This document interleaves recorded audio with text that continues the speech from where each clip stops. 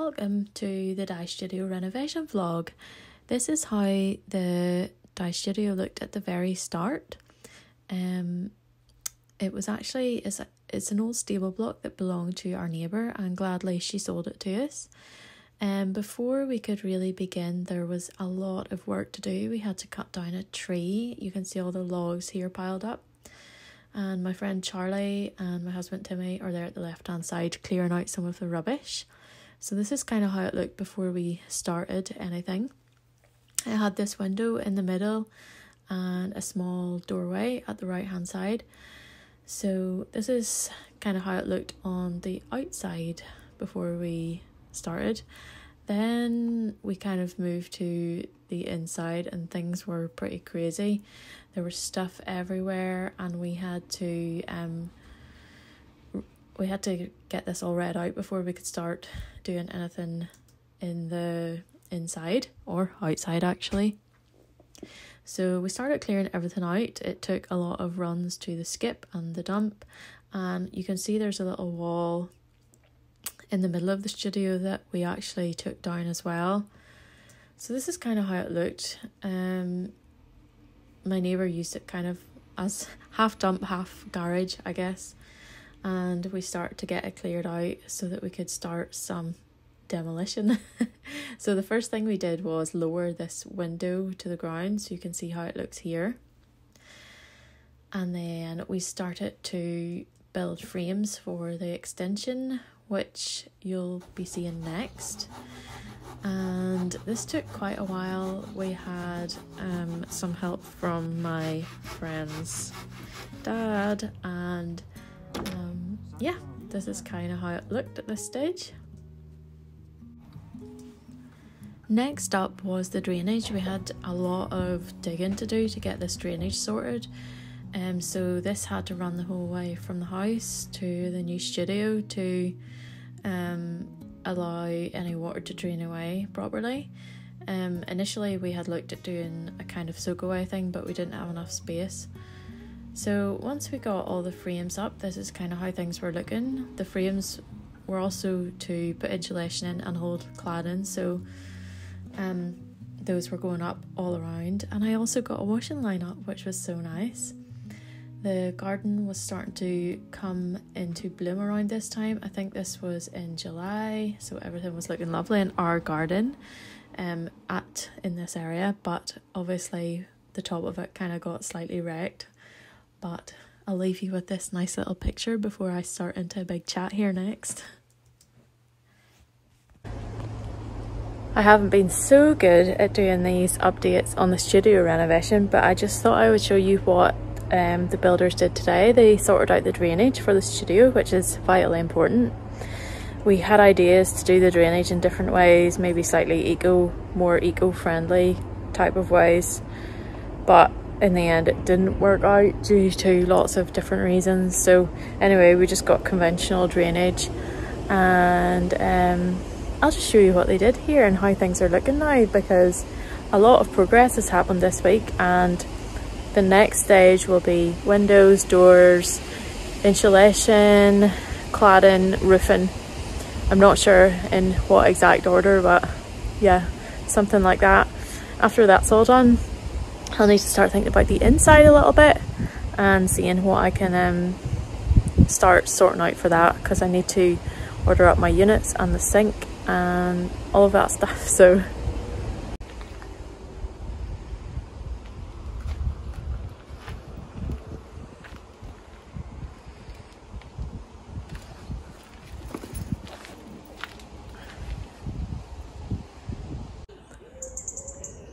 thought I might just quickly give you a little update on the studio where we're at. So we've got this one frame up and the drainage has been done. So the next stage is build the roof frame um, and then put on the insulation on the outside of this. And then after we've done that, we can clad it. The cladding is, ooh, what is it now? I can't remember the name of it. I'll just put it down here. But basically this big hole is going to be the window where my desk is. And this is all going to be a flower bed. Um, this is also going to be a window and this is going to be a window and a door and then this year is going to be a flower bed as well. So I need to start thinking of my little planting scheme for here and here. I have some plant ideas in mind. I want to go with like a prairie style with loads of grasses um, and that type of thing. And then maybe some plants like echinacea and helenium and that type of a thing. Achillea would be really nice. If you have any suggestions let me know in the comments. I'm all ears. Um so I think then the roofers will come and do the roof. The roof is not good. Um, and then they have to put in three roof lights as well. I have been looking at tile samples. I have been looking at um, carpet samples for the office. I'm going to put like a wool carpet in the office. Um, and what else have I been looking at? I need to price out how much my stainless steel units are going to be um, which I'm so excited to use because I've just been using like a makeshift kind of setup for so long now um, you can see and i am also looking for the perfect office chair um, which I have not yet come across. I want it to be good for knitting in and I want it to be good for replying to emails and doing computer work. And then this little area, the little extension that I showed you, this is all going to be on the inside, it's all going to be birch plywood. So basically it's going to be a big table the whole length, it's three meters here all birch plywood, birch plywood desk, and then it's all going to be lined in birch plywood.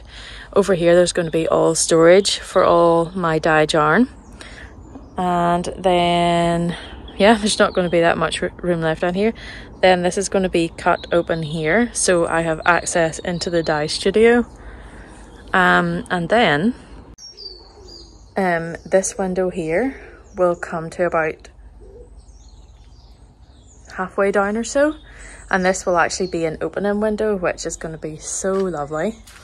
I'm really really pleased with how the fence turned out. Um it's called paling fencing like chestnut paling um and i just think it's really like really nice looking. And then we're going to plant a hedge down here.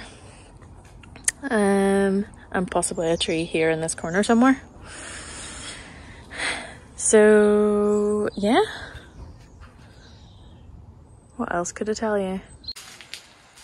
For the door here, I think the plan is to do a sheeted door on this side. So it'll kind of look like a stable block door type thing. And then at the side, we'll just have a glass panel. And that will probably be the thing that takes the longest, I'd imagine. I hope to be in here. I hesitate to even say a date, but I hope to be in here by the end of October. So the plan in here then on the underside of the roof, we were going to leave this and just paint it white, but I feel like the fixings are too rough looking to look good doing that. So what we're gonna do is lath over it all and something like maybe, I don't know, some other wood anyway, we're gonna lath over it all so it creates a nice warm textured feeling. I think it'll be really nice. Um, this is the cladding. You can't really see it, but it will weather to quite a pale silver colour. This is currently the situation with the garden, what it looks like. so that needs to be remedied as well. And I think that's, I think for the floor, yeah, so in here we're doing um a heat mat, an electric heat mat, which is kind of like underfloor heating but without, you know, it's for sm small spaces basically. So um, I wouldn't need much heating in here because of the pots, but just it'd be nice to come down and it's a wee bit warm and very inviting place to start working. And um, I think that is maybe where we're at at the moment. Today's date is the 14th of October or 14th of August, so we'll see where we're at in a month's time. um, all the drainage needs this all needs to be filled in here with this, well, with gravel actually, and um, yeah, I need to do my planting scheme. So once I've that done, I can maybe update you on what I'm planning to do for that. This is the roof structure going up. My friends Charlie and Dave and my husband Timmy were they were all helping with this. And um, it was quite difficult to do and you also had to attach it to the top of the extension. And then after that Dave started sheeting it for us. Um, so we were using a mixture of hand saws and Optima Day as well. Um, hand saws like sawing all this stuff out to cut the OSB, and then we also had an electric hand saw that we were using to cut things as well. And as you can see, there's piles of dirt everywhere. Here's me doing a bit of sawing. Um, and Charlie and Timmy are cutting out some of the plywood here for the roof, and Dave is sunbathing. Only joking, Dave. and Charlie's getting very um, dusty. He was cutting out an opening um, on the inside so that I, I'll be able to go into my office. So I think you'll see that here next. Yep, so this is what was cut out, this opening here you can see in front of you. And then um, this is it from the inside looking out, so you can see what the view out, out my kind of picture window into my Monet garden, what it's going to look like. And here we are halfway through September.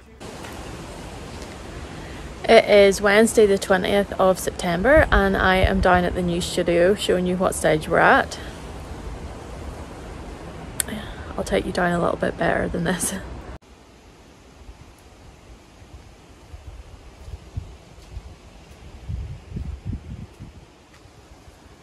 The roofers um, were supposed to come this week. They said they had me penciled in for this week, but so far they've done a no show. We've already rang them once and they said they would send someone down to look at it before they start and then they would let us know.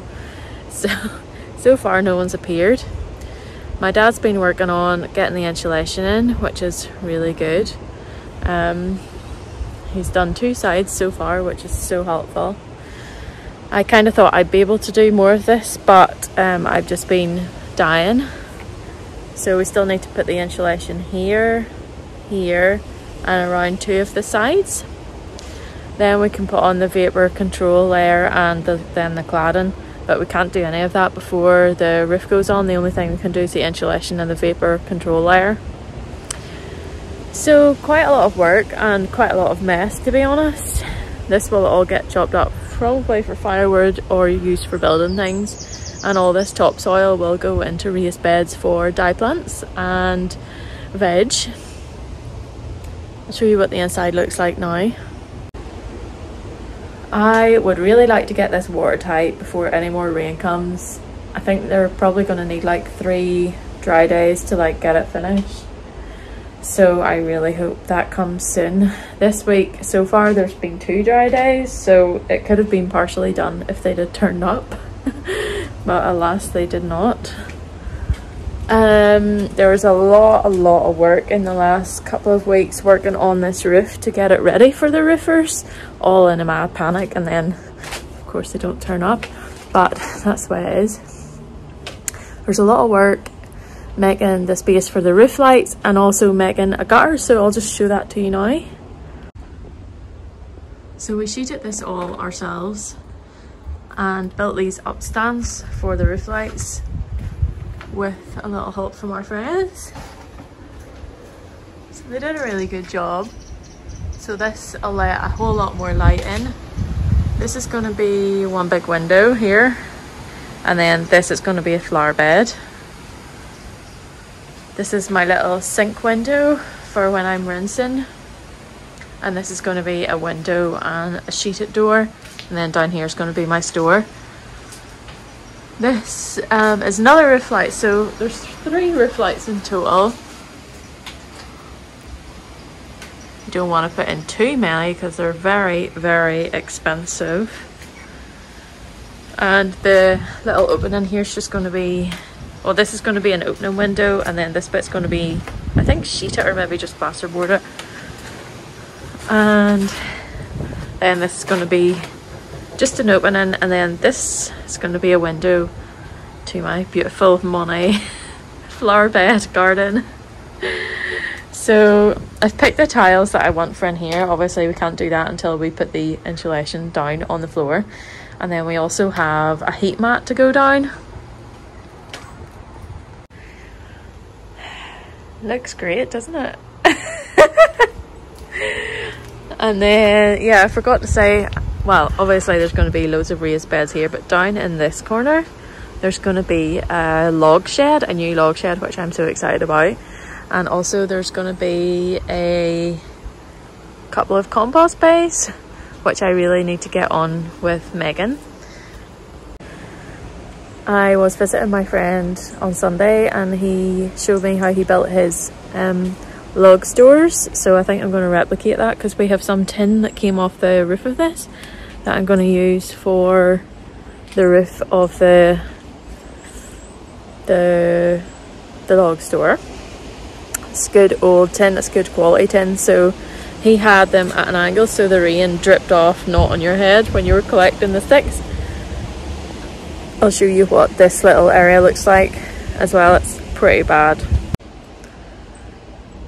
so I think we'll call that this stage one vlog. Stage two will be when we're getting near completion and then the third vlog will be the, the reveal and probably the opening party. I think I'm going to have a little party with for all the people who helped me and just friends and stuff. So and stay tuned for all of that. I initially I wanted to be in by the end of October, but now I'm just like there's no way that's gonna happen. So I hope I hope I could be in for the second week in November for the Christmas shop update.